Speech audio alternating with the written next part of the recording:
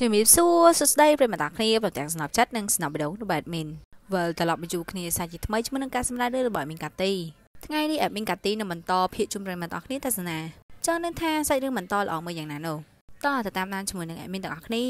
រំលឹកការពិភាក្សាមុនបន្តិចគឺលីតាហាក់ដូចជាធ្លាក់ក្នុងអន្លង់ស្នេហ៍របស់ធីមហើយតែថាក៏យ៉ាយើងនឹងធ្វើយ៉ាងណានៅតែបន្តក្តីស្នេហ៍ឬមួយក៏បោះបង់ពេលនេះក៏យ៉ាបានចូលមកដល់ក្នុងបន្ទប់ឃើញថាប្អូនរបស់នាងគេងលក់ឯង ក៏យ៉ាក៏បានទៅរឹតកតាបឲ្យប្អូនតែថាពេលហ្នឹងតៃលីបានទេមកក៏យ៉ាក៏យ៉ាបានលើកតៃលីប្រាប់ថាក៏យ៉ាហ្នឹងចង់រកការងារបន្ថែមអត់ក៏យ៉ាគិតបន្តិចរូបភាពក៏បង្ហាញទៅដល់ក៏យ៉ាបានទៅជួបជាមួយនឹងតៃលី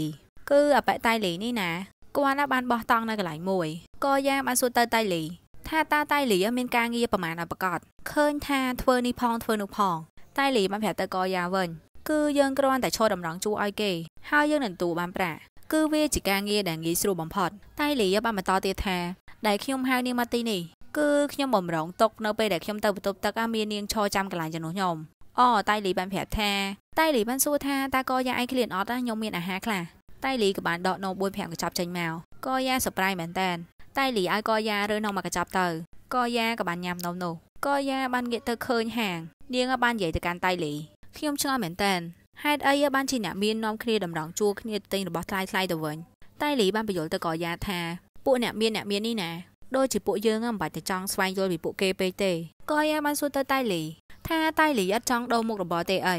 ឬមួយក៏ចង់រស់នៅបែបនេះរហូតតៃលីក៏បានតបទៅវិញគឺវាដូចតែគ្នាទេទោះបីជាយើងធ្វើការងារឬមិនធ្វើការងារតែពួកគេនៅតែមើលមកយើងជាអ្នកក្រក់ដូចដូចគ្នាហ្នឹងកុំបង្ខំវាអីក៏យ៉ា ពិភពលោកនេះគឺវាអញ្ចឹងឯងគឺតៃលីចង់មានន័យថាទោះបីជាយើងធ្វើការថោកទាបឬថ្លៃថ្នូរខំប្រឹងប្រែងយ៉ាងណាក៏ពួកអ្នកមាននឹងមើលមកយើងដូចជាមនុស្សដែលអន់អន់ហើយគ្មានតម្លៃដូចតែគ្នានឹងរូបភាពក៏បង្ហាញពេលដែលកយ៉ាមកដល់ផ្ទះពេលដែលនាងបើកទ្វារចូលទៅខាងក្នុងផ្ទះនាងឃើញថាធីមកំពុងតែគេងនៅខាងមុខផ្ទះរបស់នាងមើលទៅរូបភាពរបស់ធីមហាក់ដូចជាគួរអាណិតមែនតើកយ៉ាក៏បានតែហៅធីមឲ្យភ្ញាក់ឡើងនាងសួរថាហេតុអីបានជាធីមមកគេងនៅទីនេះធីមបានប្រាប់ថាដោយសារតែហៅខ្លាខៅអត់ភ្ញាក់ ហើយក៏ចង់រងចាំនាងមកពីធ្វើការដែរក៏យ៉ាថាអញ្ចឹងយើងនាំគ្នាចូលទៅខាងក្នុងទៅរូបភាពក៏បង្ហាញទៅដល់តុអាហាររបស់ពួកគេថាថ្ងៃនេះមានការជួបជុំញ៉ាំស៊ុបអីអញ្ចឹងជាដើមធីមបានហែកមីដាក់ចូលទៅក្នុងឆាងស៊ុបខ្លាខៅបានសួរថាមើលទៅបងដូចជាអស់កម្លាំងដល់ហើយធីមក៏បានតបទៅវិញគឺពិតមែនហើយមួយរយៈនេះបងរវល់ខ្លាំងណាស់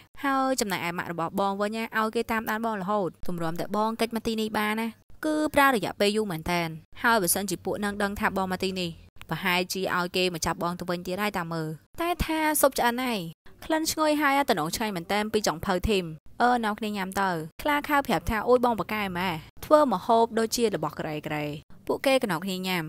តែថាអេមីនចាប់អារម្មណ៍ជាមួយនឹងកយ៉ាពេលនោះឃើញថាកយ៉ាបានចុចទូរស័ព្ទក្រោយវាចុចរួចទៅញ៉ាំញ៉ាំមីធីមបានប្រាប់ទៅកយ៉ាថាឲ្យញ៉ាំតិចតិចព្រោះថាមីនឹងវាក្តៅធីមបានចាប់សាច់ជ្រូក រួចហើយបានប្រាប់ថាសាច់ជ្រូកនឹងគឺជាសាច់ជ្រូកវេទមន្តធីមកបានប្រាប់ទៅអ្នកគ្រប់គ្នាទីនេះថាមួយរយៈនេះយើងធុញខ្លាំងមែនតើទៅញ៉ាំបាយនិយាយពីចំនួនហើយត្រូវទៅញ៉ាំបាយនៅផ្ទះរបស់លីតាទៀតតើរឿងទាំងអស់នេះណាពេលណាមកវាចប់ទៅ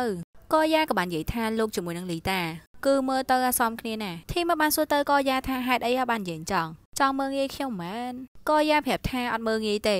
តែថាពួកលោកទាំងពីរសមគ្នាមែនគឺស័កសមទាំងចំនួនក៏ដូចជាគ្រួសារផងដែរហើយលើពីនេះទៅទៀត ពួកលោកទាំងពីរស័កសមគ្នាព្រោះដោយសារតែសង្គមរបស់ពួកលោកដូចគ្នាហើយចំពោះលីតា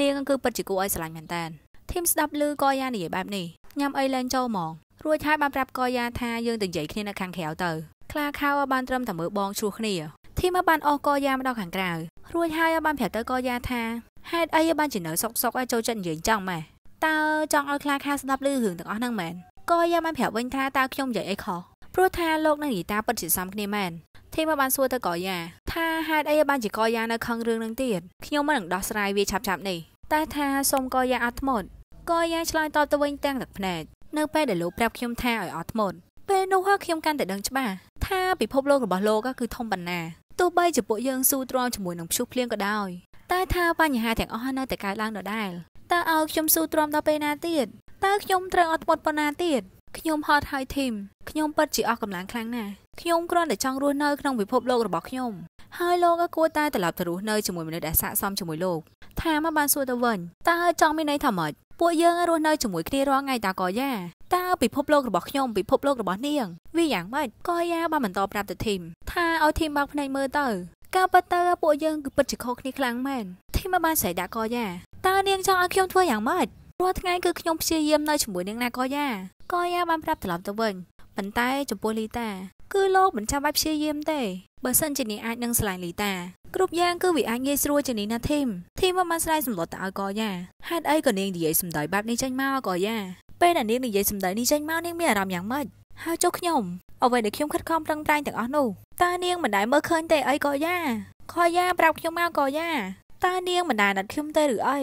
ក៏យ៉ាយំផងអីផង ពេលនោះក៏ឃើញថាឡានរបស់កូនចាំម៉ាក់ធីមកបានមកដល់ធីមបានសួរទៅកយ៉ាថាតើកយ៉ាបានប្រាប់គ្រួសារខ្ញុំមែនកយ៉ាប្រាប់ឲ្យធីមត្រឡប់ទៅពិភពលោករបស់ខ្លួនវិញទៅធីមបានស្រែកដាក់កយ៉ាចុះអ្វីដែលខ្ញុំខំធ្វើពីមុនមកតើនាងនឹងគិតយ៉ាងម៉េចកយ៉ាហេតុអីក៏នាងធ្វើដាក់ខ្ញុំបែបនេះកូនចៅរបស់ម៉ាក់ធីមក៏បានចាប់ធីមអូត្រឡប់ទៅវិញកយ៉ាបានត្រឹមតែបែរខ្នងព្រោះថាការឈឺចាប់នេះវាហួរនឹងថ្លៃសុកចិត្តលះបង់ធីមឲ្យទៅលីតាទាំងដែលដឹងថាអារម្មណ៍ខ្លួនឯងពេលនេះគឺស្រឡាញ់ធីម